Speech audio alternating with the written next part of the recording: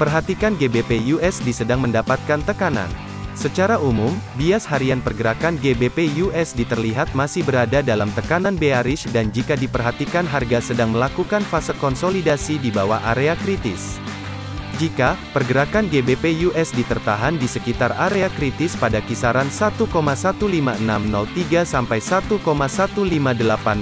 maka tunggu kemunculan bentuk pola candlestick bearish yang valid dengan memperhatikan juga indikator ADX berada di atas level 25 karena ada potensi harga GBP USD kembali bergerak bearish ke bawah menuju level 1.16122 Sebaliknya waspadai jika harga GBP USD terus bergerak ke atas dan menembus level 1.16164 maka ada potensi harga akan berbalik arah dengan bergerak bullish ke atas menuju level berikutnya pada kisaran 1.16392.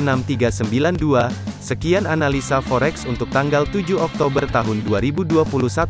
Untuk konsultasi gratis mengenai posisi trading forex Anda, silakan hubungi 081212 983 101.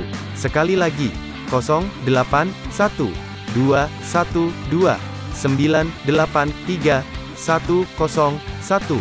Kami dengan senang hati berbincang dengan Anda. Untuk mendapatkan analisa forex setiap hari, silakan subscribe ke channel ini. Sampai jumpa di video berikutnya.